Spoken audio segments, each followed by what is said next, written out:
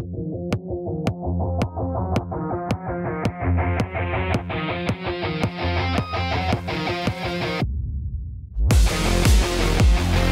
I think makes CrunchConf special is that it's it's very well organized. It's in Budapest. The diversity of speakers is really big and great. There's great content.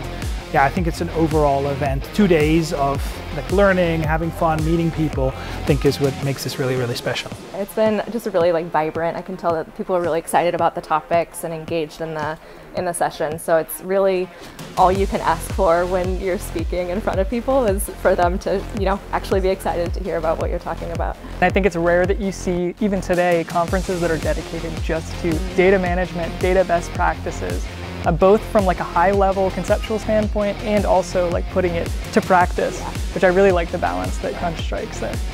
Ooh, what makes Impact Conference special? I think the diversity of people. I've really met people who are product designers or product managers or from all, all around Europe and all around the world um, and also from all different functions as well. Everyone here is keen to understand creativity, but more than that, keen to understand how it deploys, how it deploys into the world, how it can affect human beings and how it can affect life itself. I think what makes Amuse Conference special this year is how international it is. Um, it's certainly the most international conference that I've gone to. I met so many really interesting people from all over the world and um, it's international in that way, but we all have something to talk about. Amuse has never been a design-only conference. Part of our concept for this year is that in many organizations, designers and UX people have a seat at the table, so it's, it's important to, to learn how to speak with other disciplines, how to speak with stakeholders. Behind this event is Craft Hub.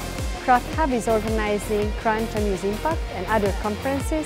And actually our company is organizing not only conferences, but hackathons and developer competitions as well. So I'm proud that I was a part of the history with Prezi and IBM Budapest Lab.